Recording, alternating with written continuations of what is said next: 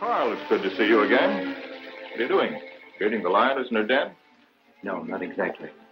Dan, I, I've just had the shock of my life.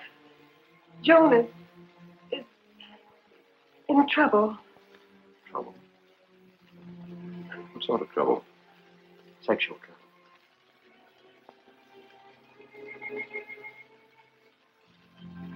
What did you know about it?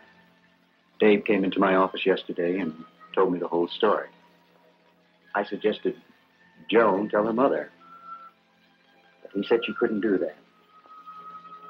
So after thinking about it most of the night, I decided it was my duty to tell you folks.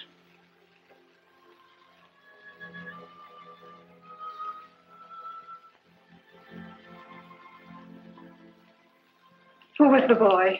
I'll have him arrested. Dave didn't tell me his name, and I didn't ask. After all, why blame the boy? But you wouldn't blame such a scandalous thing on an innocent young girl like Joan. No, I wouldn't blame her any more than I would the boy. Well, then who would you blame?